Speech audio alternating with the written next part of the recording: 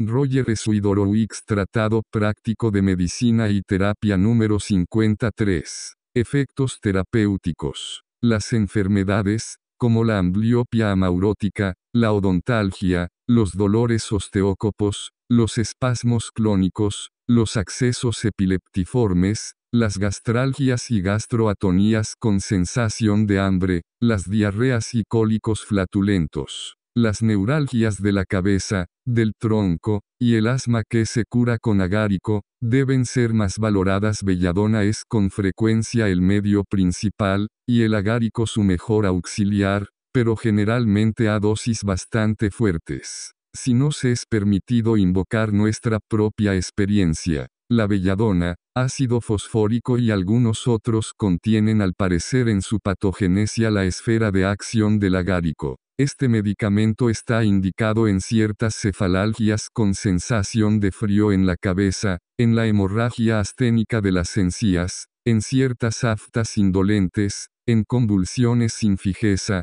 limitadas a algunos músculos, con agilidad y movimientos fáciles, en ciertas erupciones pruritosas o miliares, en el prurito de los dedos de los pies y en los sabañones de los niños delicados y de personas nerviosas. Algunos lectores podrán quizá juzgar que hemos dado poca importancia a este medicamento, pero les diremos que no obramos así con todos, y que si lo hacemos con algunos es con el objeto de trazar mejor un estudio serio de la materia médica y manifestar el que hemos seguido. Igual a dosis, igual a el agárico mosqueado se administra bajo la forma de tintura o alcoholado. Es uno de los medicamentos que más fácilmente se atenúan y dividen. La dosis que preferimos es una gota de la primera atenuación hasta 5 o 10 de la tintura en una poción de 150 gramos, para tomar a cucharadas en las 24 horas.